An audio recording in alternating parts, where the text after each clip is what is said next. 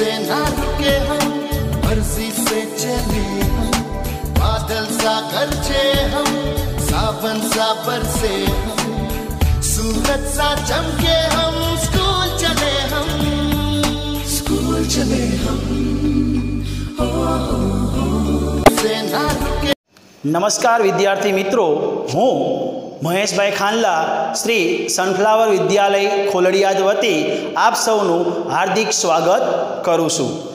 આજે મિત્રો આપણે ધોરણ દસ વિષય ગુજરાતી. એનો જે પાઠ છે બારમો પાઠ.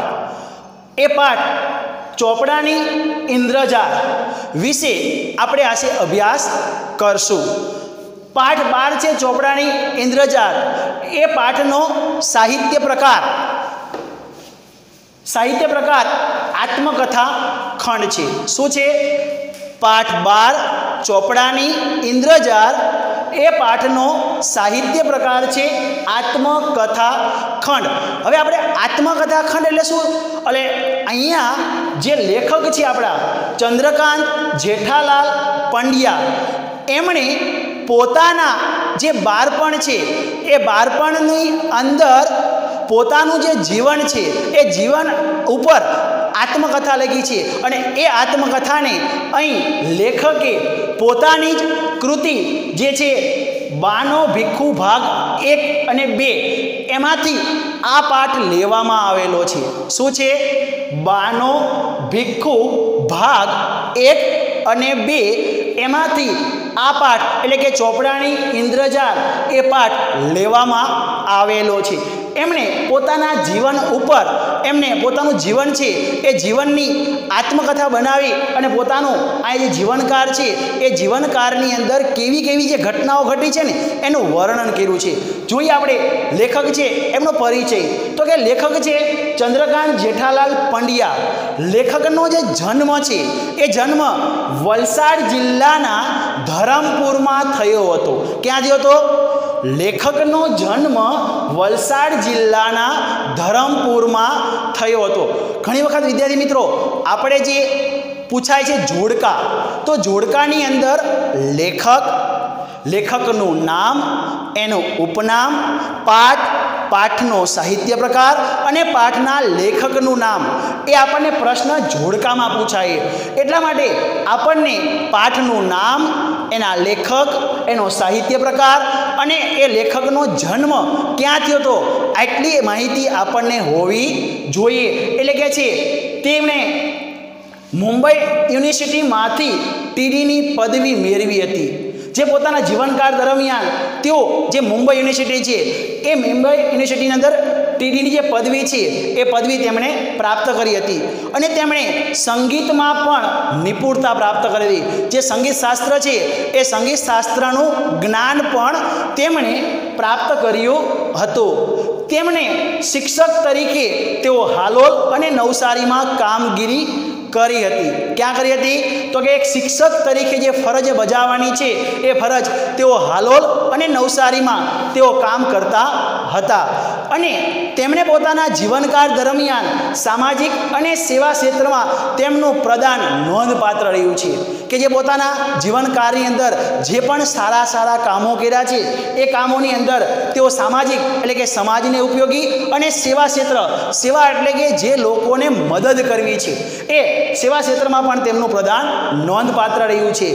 એમણે લખેલી કેટલીક જે કૃતિઓ છે, એ કૃતિઓની અંદર છે, બાનો ભિક્ષુ ભાગ એક બે, સુદામા દીઠો દ્વારમતી, યુરોપ પ્રવાસ, ઘડીક સંગ શ્યામ રંગને, આફ્રિકાનો પ્રવાસ, વસાહતી એમનો વતન અને અમેરિકાનો પ્રવાસ, એ તેમના નોંધપાત્ર પુસ્તકો છે. શું છે? એમણે લખેલા ગુજરાતી સાહિત્યને આપેલા નોંધપાત્ર પુસ્તકો કે જેમણે પોતાના જીવનકાળ દરમિયાન તેમણે લખેલા છે. આ સાથે તેમણે સાહિત્યકાર, પત્રકાર તરીકે પણ તેમનું યોગદાન રહ્યું છે. અને પોતાના જીવનકાળ દરમિયાન એક સારા પત્રકાર તરીકેની જે ફરજ છે, એ પણ ફરજ તેમણે સારી રીતે નિભાવી છે. હવે આપણે જે પાઠ આપ્યો છે, એ પાઠનો વિષય જે વસ્તુ છે, એ વિષય વસ્તુ આપણે જોઈએ. પાઠ છે. ચોપડાની ઇન્દ્રજાળ. એ ચોપડાની ઇન્દ્રજાળની અંદર જે ભીખુ છે એ બાળપણમાં જોયેલી વ્યાજખોરી અને ગરીબીના આત્મકથા ખંડમાં રજૂ થઈ છે. શું કહે છે? ભીખુ એટલે જે આપણા લેખક છે, ચંદ્રકાંત પંડ્યા, એમનું બાળપણનું નામ છે. શું છે? બાળપણનું નામ અને વ્યાજખોરી. એટલે કે જે પહેલાંના સમયની અંદર અને અત્યારે વ્યાજવા પૈસા આપે છે. કે જે આજે તમને સો રૂપિયા આપે અને એ સો રૂપિયાના તમને પાંચ ટકા લેખે, એટલે કે પચાસ ઉમેરે, એટલે કે એકસો પચાસ રૂપિયા તમારી પાસેથી. વ્યાજ સહિત જે પાછા લે, એને શું કહેવામાં આવે છે? તો કે વ્યાજ ખોરી. અને ગરીબોના આત્મકથા ખંડમાં રજૂ થઈ છે કે જે ગરીબો છે, એ ગરીબોનું શોષણ કરી અને કેવી રીતના શોષણ કરવું ને? એ આ પાઠમાં રજૂ થયું છે. અહીં સાહુકારો દ્વારા ગરીબ અભણ લોકોનું કેવું શોષણ થતું, એનું તાદર્શ ચિત્ર ઉપસાવ્યું છે. શું કહે છે લેખક? તો કે જે સાહુકારો છે. સાહુકારો એટલે મિત્રો, અહીંયા આપણને જે ગુજરાતી ભાષાની અંદર એનો અર્થ થાય છે હાવકાર. શું થાય છે? હાવકાર. અને એ તરફદા શબ્દ છે. એની ઉપરથી અહીંયા શબ્દનો અર્થ લીધો છે સાહુકાર. એટલે કે સાહુકાર એટલે જે પૈસાદાર. અને એનો બીજો અર્થ થાય છે ધનવાન. કે જે ધનવાન લોકો છે, એ ધનવાન લોકો ગરીબોને ઉછીતા પૈસા આપતા અને એ ઉછીતા પૈસા એમની પાસેથી વ્યાજ સહિત વસૂલાતા હતા. એટલે કે એ સાહુકારો દ્વારા જે ગરીબ લોકો છે, કે જેને કશી ખબર નથી પડતી, એ અભણ છે, એ લોકો એમની પાસેથી એ પૈસા ઉછીતા લેતા હતા. એટલે એને શોષણ કરતા. શોષણ કરવું એટલે એ ગરીબ લોકો પાસેથી વ્યાજ વસૂલ કરવું. એવું અહીં તાદર્શ ચિત્ર છે, એ ખડું થયું છે. આવું માત્ર ગુજરાતમાં છે, એવું નથી, પણ સમગ્ર ભારતમાં આ પરિસ્થિતિ છે. ખાલી આપણા ગુજરાત રાજ્ય પૂરતી નથી કે ગુજરાત રાજ્યમાં જ સાહુકારો વ્યાજવા પૈસા લે છે. આ પરિસ્થિતિ મિત્રો સમગ્ર વિશ્વની અંદર, એટલે કે આખો ભારત દેશ છે, એ વિશ્વની અંદર આ પરિસ્થિતિ આપણને જોવા મળે છે. એક તરફ વ્યાજ પર વ્યાજ ચડાવતા સાહુકારો, વ્યાજ પર વ્યાજ એટલે કે ઘણી વખત મિત્રો આપણે પૈસા ઉછીતા લીધા હોય પાંચસો રૂપિયા. અને એ પાંચસો રૂપિયાના પંદરસો, પાંચ હજાર, દસ હજાર સુધીનું વ્યાજનું વ્યાજ ચડતું જાય. કારણ કે ચક્રવર્તી વ્યાજ છે, તમે જાણો છો. કે વ્યાજનું વ્યાજ વધતું જાય છે દર વર્ષે. આપણે આપણી મૂડી જમા ન કરીએ તો વ્યાજો પૈસા લીધા હોય તો એ વ્યાજનું વ્યાજ વધતું જાય છે. એટલે કે વ્યાજ પર વ્યાજ ચડાવતા સાહુકારો એટલે કે પૈસાદારો છે, એનું વ્યાજ ચડાવતા જાય છે. તો બીજી તરફ એક સાહુકારના દીકરા તરફ વાત્સલ્ય ભાવ દાખવતા દેણદાર લોકો છે. તો એ વાત કરી છે કે બીજી તરફ જે સાહુકાર છે, એ સાહુકારના દીકરા દીકરા એટલે આપણા લેખક છે જે એ લેખક કહે છે કે પોતાનું વાત્સલ્ય ભાવ વાત્સલ્ય ભાવ એટલે પ્રેમ કે જે ગરીબ લોકો છે એના પ્રત્યે લાગણી થવી. તો એ વાત્સલ્ય ભાવ અને દેણદાર, જે દેણદાર આપણને પૈસા આપે છે, એ લોકો પાસે પોતાનો પ્રેમ દાખવે છે. જીવલાની કરુણ સ્થિતિ જોઈ અને કિશોર ભીખુમાં સૂક્ષ્મ પરિવર્તન આવે છે. જીવલો એટલે જે વ્યાજવા પૈસા લીધા છે, જે લેખકના પિતાજી પાસેથી, એ જીવલની કરુણ સ્થિતિ. એટલે કે કેવી સ્થિતિ? એની દયનીય જે ગરીબ છે, એની સ્થિતિનું અહીંયા વર્ણન કવિ જે છે આપણા શરીર, એ કિશોર ભીખુ એનું તાદશ કિશોર એટલે બાલ્ય અવસ્થા. શું કહે છે? બાલ્ય અવસ્થા. એનું સૂક્ષ્મ પરિવર્તન અહીંયા કરવામાં આવ્યું છે. જેના કારણે એ દેવાના ચોપડા ફાડી નાખી અને કર્જમાંથી મુક્ત કરે છે. અને લેખક છે જે ભીખુ, એ ભીખુ પોતે જીવલાના જે વ્યાજવા પૈસા લીધા હતા, એ વ્યાજવા પૈસા જે એના પિતાજીએ ચોપડામાં લખ્યા હતા. એટલે આપણા લેખકે જો પાઠનું નામ શું આપ્યું છે? ચોપડાની ઇન્દ્રજાર. અને એ ચોપડાની ઇન્દ્રજાર, એટલે જે વ્યાજના વ્યાજ પૈસા લખ્યા હતા, એ લેખક બધા જ ચોપડા ફાડી નાખે છે. અને બધાને કર્જ કર્જ એટલે દેણામાંથી બધાને મુક્ત કરી નાખે છે. શું કરે છે? જે બધા લોકો છે, એ લોકોને પૈસા વ્યાજવા લીધા હતા, એમાંથી છુટકારો મેળવે છે. પોતાના પિતા અને માતા પર વ્યાજ વસૂલાતની આ ઇન્દ્રજારમાં કેવી રીતે રચ્યા બચ્યા હતા, એ નિખાલસતા આ પાઠમાં જમા પાસું છે. કે જે લોકો છે એ પોતે વ્યાજવા પૈસા લઈ અને વ્યાજ વસૂલાત કરતા હતા. તે વસૂલાત કરનાર લોકો આમાં આમાં રચ્યા પચ્યા રહે છે. એટલે કે આમાં આમાં પોતાની જે પરિસ્થિતિ છે, એ પરિસ્થિતિને એક જ રાખી અને કોઈ પણ જાતનો જમા પાસું ઉધાર રાખ્યા વગર અહીં ચોપડાની ઇન્દ્રજાર એટલે કે વ્યાજની એવી જાર કે જેમાંથી ગરીબ ક્યારેય છટકી શકતો નથી. એનું હૃદયસ્પર્શી આલેખન લેખકે આ પાઠમાં કર્યું છે. એટલે શું કહે છે? કે જ્યારે વ્યક્તિ પોતાના વ્યાજવા પૈસા લાવે છે અને વ્યાજવા પૈસા લાવી અને એમાંથી ગરીબ લોકો છે એ ક્યારેય વ્યાજવા પૈસા લાવનાર પાસેથી એ છટકી શકતો નથી. કારણ કે જે પૈસા લઈ જાય છે એ પૈસાદાર વ્યક્તિ પોતાની મૂડી અને વ્યાજ સાથે એ વસૂલ કરે છે. અને એવું હૃદયસ્પર્શી વર્ણન આ પાઠમાં કર્યું છે. જોઈએ આપણે પાઠ.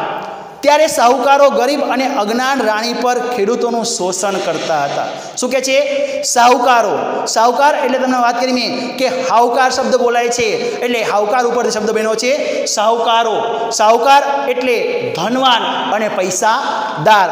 આ અજ્ઞાન એટલે કે અભણ. શું કહે છે? અજ્ઞાન એટલે અભણ. કે જેને કશી જ ખબર પડતી નથી. શું નથી પડતી? એને કેવા લોકો? તો કે ત્યારે સાહુકાર ગરીબ અને અજ્ઞાન રાણી પર ખેડૂતોનું શોષણ કરતા હતા. શું કરતા હતા? તો કે જે અજ્ઞાન છે, એટલે કે અભણ જે લોકો છે, એ અભણ લોકો શોષણ, એટલે કે ગરીબો છે, એ ગરીબ લોકોનું શું કરતા હતા? શોષણ કરતા હતા. શું થાય છે? શોષણનો અર્થ થાય છે મિત્રો, જે ગરીબોનું શોષણ કરવું એ ગરીબોનું શોષણ કરતા હતા. ઋણ રાહતનો ત્યારે કોઈ કાયદો નહોતો. ઋણ એટલે દેવું, જેને આપણે કર્જ કહીએ છીએ. શું કહીએ છીએ? દેવું અને કર્જ. એ કર્જનો કોઈ કાયદો હતો નહીં. એ સમયમાં પણ કાયદો નહોતો અને અત્યારના સમયમાં પણ મિત્રો કોઈ કાયદો છે નહીં. કે જે તમે ક્યાં એવો કાયદો લખો કે ભાઈ, આ ભાઈ પાસેથી હું પાંચસો રૂપિયા ઓછીતા લઈ ગયો અને એ ભાઈએ મારી પાસેથી પંદરસો રૂપિયા ઓછીતા લીધા અને તમે કોર્ટમાં ગયા અથવા પોલીસ સ્ટેશન ગયા ને તમારો કેસ હાથમાં લીધો હોય. આવો મિત્રો, કોઈ કાયદો એ વખતના સમયમાં પણ નહોતો અને અત્યારના સમયમાં પણ નથી. તેમાં દેશી રાજ્યમાં તો આવા શોષણખોરોને ઘી કેરા હતા. શું કહે છે અહીંયા? તો એ વખતના સમયમાં જે દેશી રાજ્યો હતા, કારણ કે પહેલા સમયમાં મિત્રો રજવાડા હતા.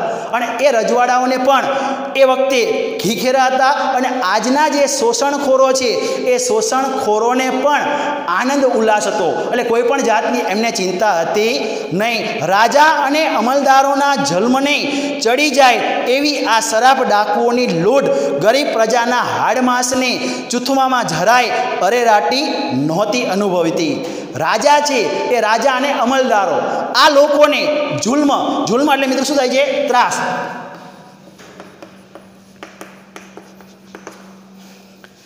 જુલ્મ એટલે કે ત્રાસ.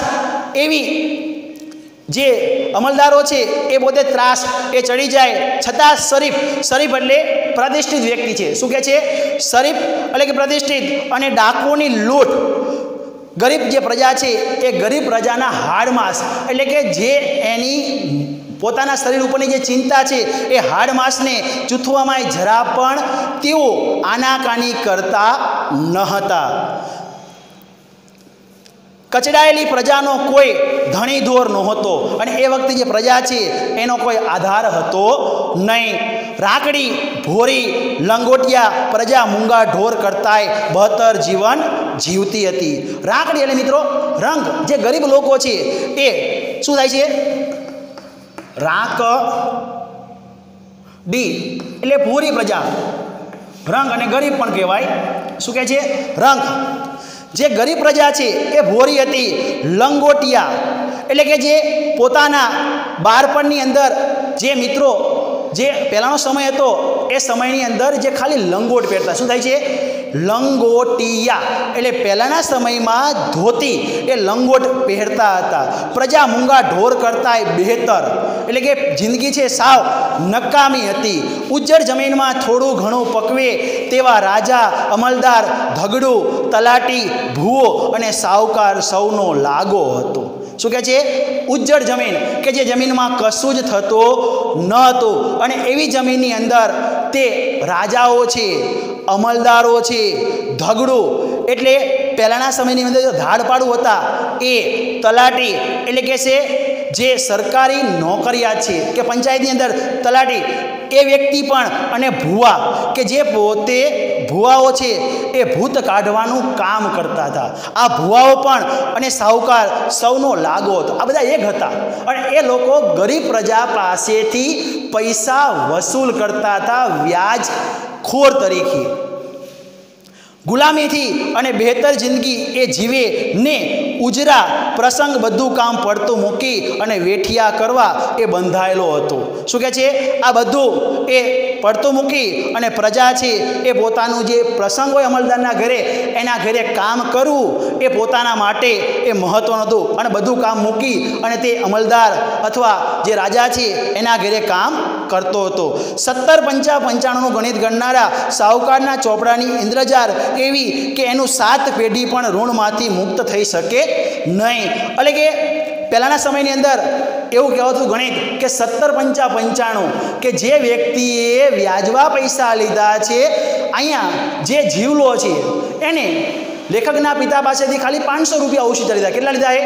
પાંચસો રૂપિયા. અને એ પાંચસોનું વ્યાજનું વ્યાજ પંદરસો રૂપિયા થઈ જાય કેટલું થઈ જાય છે? પંદરસો રૂપિયા. અને એના કારણે થઈ એ પહેલાંના સમયમાં સત્તર પંચા પંચાણું ગણિત એ ગણનારા સાહુકાર, એટલે કે જે રાજાઓ છે, એ પોતે સાવપડાની ઇન્દ્રજારમાંથી એ પોતે ઋણ મુક્ત ક્યારેય થઈ શકતા નહોતા. જે ગરીબ લોકો છે એ ઋણમાંથી ક્યારેય મુક્ત થઈ શકતા નહોતા. મિત્રો, આપણે અહીં લગી રાખીએ છીએ પાઠ. હવે પછીનો જે અધૂરો પાઠ છે એ આપણે આની પછીના વિડીયોમાં એ જોઈશું.